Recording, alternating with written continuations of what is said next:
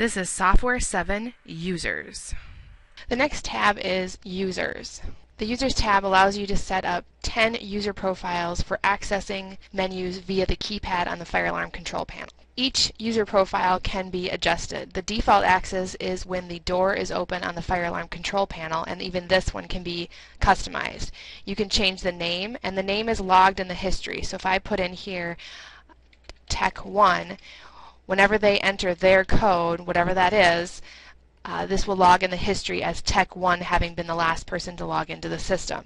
And then I can go ahead and check the boxes of what I want to allow this particular user to be able to do. System reset through data transfer are all referring to the menu options on the keypad of the fire alarm control panel.